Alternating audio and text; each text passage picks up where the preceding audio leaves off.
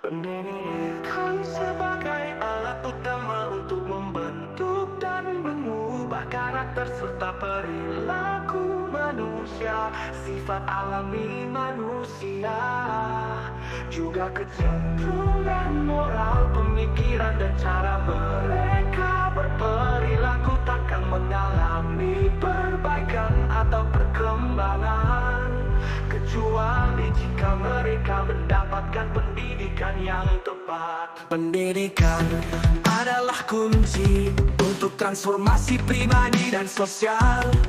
Pendidikan tidak hanya mencakup pengetahuan teoritis Termasuk juga pelatihan mental. Emosional, moral, dan spiritual Membentuk manusia menjadi individu yang lebih baik. Lebih baik Melalui pendidikan seseorang bisa belajar mengendalikan emosi Memperluas wawasan, memahami prinsip-prinsip etika Serta mengembangkan kemampuan berpikir kritis. Pendidikan membawa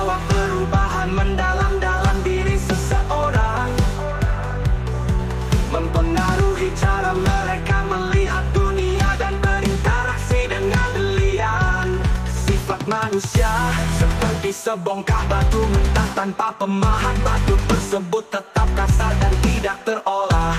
Namun seseorang pengrajin yang memahat batu dengan penuh ketelitian Batu itu dapat dihaluskan, dibentuk dan dibangun menjadi karya yang indah.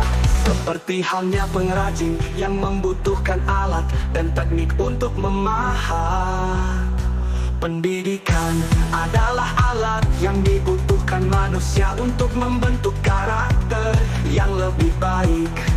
lebih bijak, dan lebih bermoral.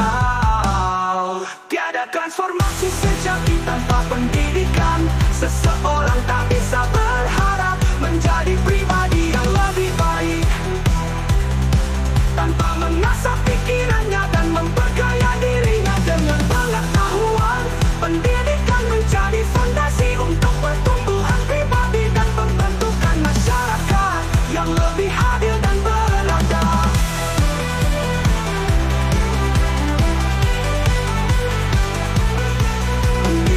memiliki kemampuan untuk mengubah cara kita berpikir, bertindak dan memahami dunia. Merupakan alat terkuat yang kita miliki Untuk mengubah sifat dasar manusia menjadi lebih baik. Pendidikan begitu luas bisa kita dapatkan dari lingkungan sekitar kita. Sajian tentang pengetahuan yang menginspirasi partisipasi aktif dalam membentuk karakter kita semua yang lebih bijak kritis dan terbuka terhadap perubahan. Pendidikan adalah kunci perubahan sifat manusia melalui pendidikan yang benar. Perubahan bukan lagi impian, tapi kenyataan yang dapat kita raih.